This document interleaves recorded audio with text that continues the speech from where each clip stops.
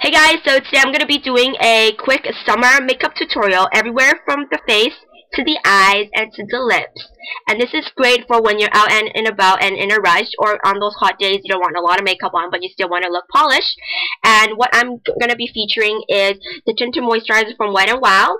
Ultimate Sheer Tinted Moisturizer as well as using a trio from Wet n Wild. Um, I'm using this bottom color here. Any pinky light lid color would do. And then the trick is to use a matte bronzer. So I'm using the NYC Sunny Bronzer for the crease. So grab all your products and let's get started.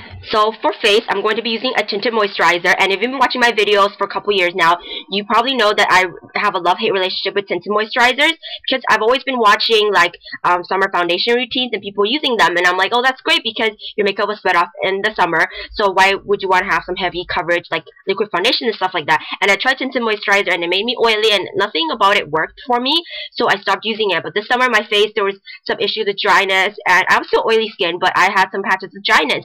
So I wanted some moisture. So I actually picked up the Wild Ultimate Sheer Tinted Moisturizer. My color is 182 Natural. And actually works really well. And um, I'm going to be showing you how I use this. So basically you have to shake it up first.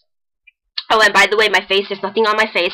I don't even have moisturizer, but if you do, if you're drier skin, I would definitely put your regular day moisturizer on first before you apply this um, tinted moisturizer. And the tinted moisturizer is really great because it is SPF 15, so um, you have your SPF in there as well. It's just sheer coverage to even out your skin. It doesn't really have um, any coverage, and it comes in a squeezy thing like this. I just squeeze about uh, this much, and then I blend it in my face. I can always put more um, if I need to.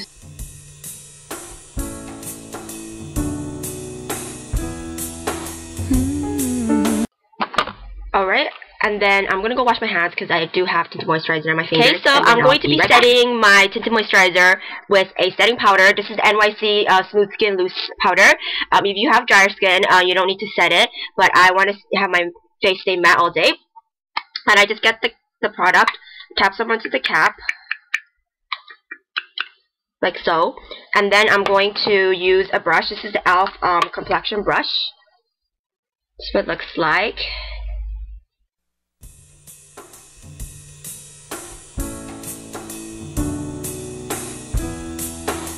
And now on to the eyes. Okay, and for the eyes, it's going to be really basic as well. And I'm just using my Annabelle Cream Shadow in um, Coffee Talk, any primer which you like.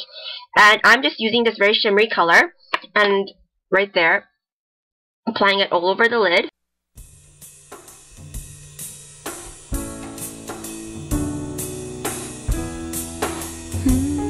Okay, now I'm going to be using the Wet n Wild um, trio.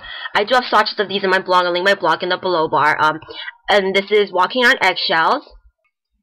I'm going to be taking the bottom color, which is a dupe for MAC Naked Lunch.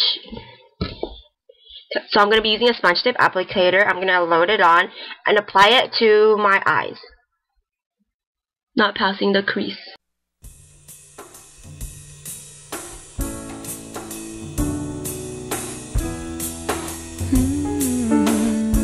Next, I'm going to be applying a very subtle crease color just to give some definition to my eyes. And I'm going to be using a trick that I found from Color Me Makeup. I'll link her video and her channel in the below bar. You can go check her out.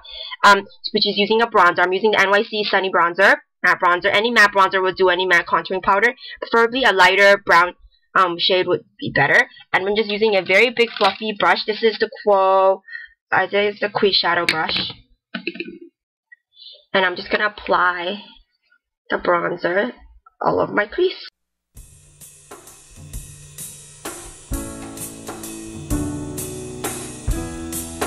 Hmm. And then we're going to be applying a highlight color, something more matte because the lids are pretty shimmery. So I'm just going to use this color. It's called Vanilla Chilla and it is the dupe for MAC's Brule. I'm just going to be using the same fluffy brush and get some product and then just apply on the brow bone.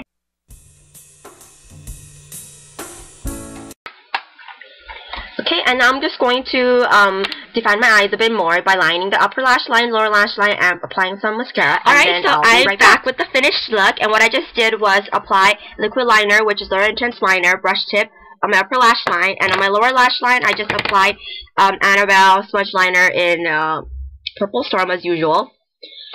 Okay, and then I just apply mascara on my CoverGirl Lash Blast Volume.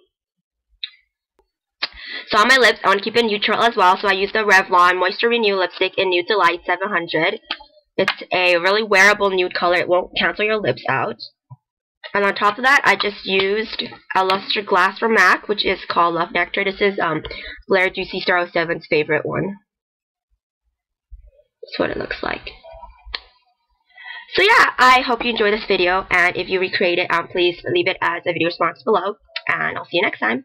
Bye for now.